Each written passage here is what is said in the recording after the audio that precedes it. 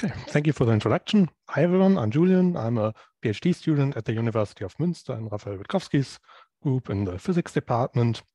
Today I want to talk a bit, a little bit about language design and in particular the language design of Rust. So uh, the whole application topic here is uh, many particle dynamics and just to make sure that we are all on the same page, just give you a brief overview. So particle dynamics basically mean you have a system of discrete entities, they move over time and they can interact. And then your simulation goal is usually to this, uh, um, calculate their trajectories. Now, particles is a really broad term here. It can be pretty much anything from atoms to asteroids. Um, yeah, really, it's your imagination is the limit here. Because in the end, it's all mathematically basically the same. You have a system of coupled differential equations, sometimes ordinary, sometimes stochastical, and you want to solve that. And you could, of course, use your standard ODE solver, but in this case, you usually have so many particles that you have an extremely high number uh, of degrees of freedom. Um, you can think of Avogadro's number six times 10 to the 23. We need a we need a lot of particles to be realistic, and that's just not uh, not good in, in standard solvers. So we need specialized solvers for that.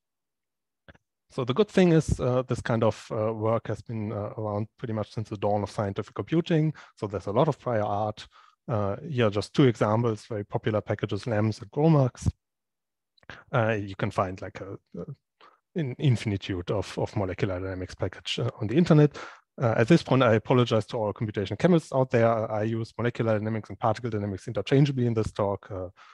not super precise, but for my purposes it is. So if there's so much software out there, why uh, are we still thinking about this? Well, the way these software packages usually work, if you've never used them, you basically get a sort of set of numerical primitives and you plug them together and then you basically get a new simulation out of that for your system, hopefully. Now, the problem is if this toolbox is lacking the specific particle type or specific force field that you need and you're kind of out of luck, uh, you can, of course, go into the source code and try to extend these packages, but you basically dig around through uh, three decades old uh, C, C++, or Fortran code, which are particularly unfortunate. Uh, so whatever you, you create there will be very brittle. You'll probably violate someone's invariant somewhere, and it's, it's, it's not a nice experience. Uh, yeah, so um, that's kind of uh, desirable to be improved. And in the end, uh, there's, there's also uh, another more technical aspect. Because these software packages are so old, they are also designed for software basically 30 years ago. So they often uh, rely on message passing. And if we look at sort of modern trends in hardware, that might not be the most uh, suitable choice. So when you have like 128 cores on your CPU, uh, you might uh, not want the overhead of message passing, but you might just want use shared memory. So uh, luckily, I'm not alone in, in, in this uh, analysis of the field. Uh, there's uh, a lot of other packages that try to sort of improve the situation a bit. Uh, I'm particularly fond of OpenMM. I think it's really well designed.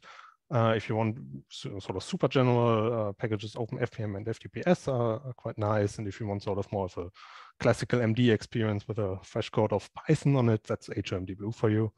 Um, so yeah, lots of options but I still think we haven't found sort of the, the optimum here.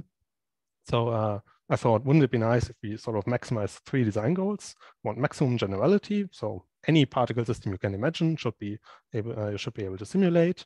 You should abstract away all the sort of nitty technical details because otherwise you might just as well use your general purpose programming language. Ideally, you would also have sort of an escape hatch so you can uh, sort of, if you really know what you're doing, uh, do whatever you want and we want uh, shared memory parallelism, and we don't want data races, obviously, because again, that's sort of technical difficulty. Um, and if you look at these design goals for, for, for why you realize that there is a language out there that does this really well, it's compromised, and that's Rust. So this is why I give this talk at the Rust workshop. So let's build a sort of inspired by Rust uh, model for molecular dynamics. So first we need uh, a data and a computational model. So a particle is in the most general sense just some bundle of physical quantities. Um, in order to make, uh, for the optimizations of MD to make sense, you need at least the position, because that kind of guides the coupling of equations. Um, a particle system is well, basically just multiple particles, and they can interact. And particle dynamics basically just means you have a particle system one state, then you apply some rules, and then it comes out in another state. Now, the problem with this is this means basically every program would be a particle dynamics. So that's not super great if you want to do static analysis because you can't do static analysis on, on general programs. And in particular, you can't guarantee safe parallelism. So we need, need some rules. And this is similar to our Rust, actually does this. Um, if we consider each particle to sort of correspond to a thread, so we sort of want to maximize uh, um, parallelism in our program by treating every particle, at least in principle, in parallel, um, and then we can look at the rules of borrowing because those are the rules for sort of threads and references in Rust. Uh, and it says you can either have an arbitrary amount of read-only reference or exactly one mutable reference. So in the particle world, this would basically mean yeah, your quantity could can either be mutable, but then it can't be seen by any other particles or threads, sort of conceptually, um, or the other way around. So it can be seen by every threads, but it can't be mutated. Now, obviously, you probably want to mutate every quantity at some point in your simulation. So this would basically mean that particles can't interact. But we can use uh, another uh, property of data races. Data races only occur when you have unsynchronized access. So if you have a few synchronization barriers uh, in your simulation, you can basically sort of apply these rules only uh, to the area within the, these uh, barriers.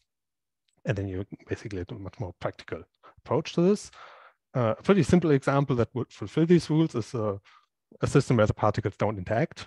In physics, we call that an ideal gas. That basically means no particle sees any other particles quantities. Uh, it's a bit boring. I mean, ideal gas are thermodynamically important, but a bit boring after a while. So let's uh, think about a more interesting example. This here is sort of an Euler integration scheme, sort of the most basic integration schemes you can have. Uh, so we have a, uh, hope you can see my mouse cursor. We have a particle state on the left here. It has three quantities, position, velocity, and force.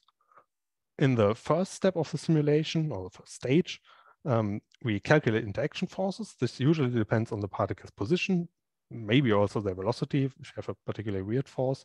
Um, but because we calculate forces, forces will be mutated, so these must be invisible. So this stage here cannot depend on the force that was basically done in the previous time step. Then we have a synchronization barrier. So we basically burn all our, all our references and start again. Um, so now we hand out references. Uh, um, so now we want to um, update velocity and position. Okay. Uh, so now uh, we basically do the reverse with velocity and uh, position to be invisible. So uh, just very quickly on the implementation, we call it the fearlessly integrating particle simulator. It's basically your textbook compiler. So we use the really excellent Rust PEG crate for prototyping of parser. And then in the end, we feed it into LLVM, generate code. And from, from the user perspective, it's just a Rust library. And uh, we actually use Rust as sort of our escape hatch because we can in LLVM cycle control for between, between our generated code and the Rust application. So you can also do all your pre and post processing in Rust. Okay, and that's basically everything. You can find a paper here uh, on the deep model, the software here, and if you want to have a chat, there's a Zulip link. Thank you.